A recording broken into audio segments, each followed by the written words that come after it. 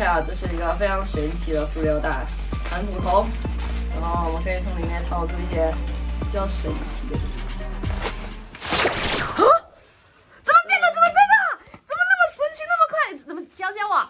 哎，那个爆裂飞车最近还出了新款，而且还自带发射器。你要是给我买来的话，我就一言为其难告诉你吧。一言为定。爆裂飞车终于买回来了，这么多，哇，这么多好玩的，要不我先玩一下吧。这是飞轮的赤灵凤，果然和以往不一样的，这次是带有发射器。哇，这个还能自己变形为飞车形态，太炫了。还有三个晶片，还有一张赤灵凤的卡片，还能三百六十度空翻变形呢，很酷啊。如果我把这个晶片抛在空中，也在发射，它是不是可以变形呢？哎呀，有点难啊，再试一次。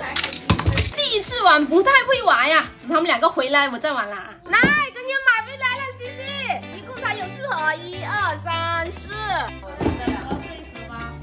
要这两个吧。这里还有贴纸可以贴这个发射器上，贴好了还是很酷的。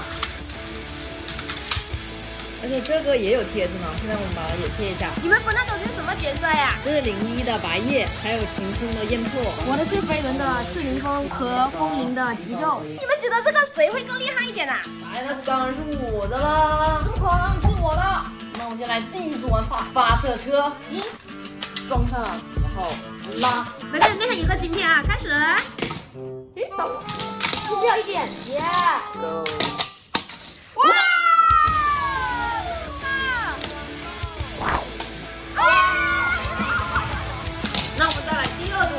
发射晶片，我派出的是焰破，而且还可以用手来变形哦。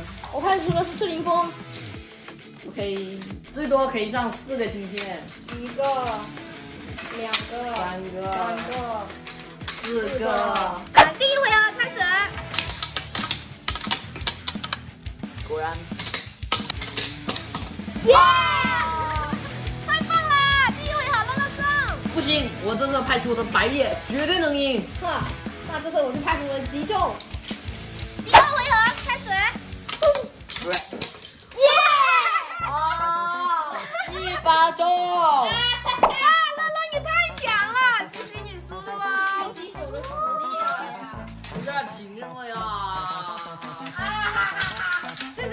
你素颜我不管，就是说你的魔术要解密给我呀。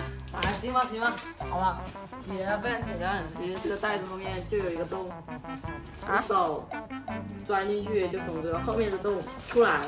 嗯，那所以那个东西藏在哪里呢？它就藏在我的腰间，然后就这样子进去。然后这么简单，太失望了。这就是魔术的魅力啊！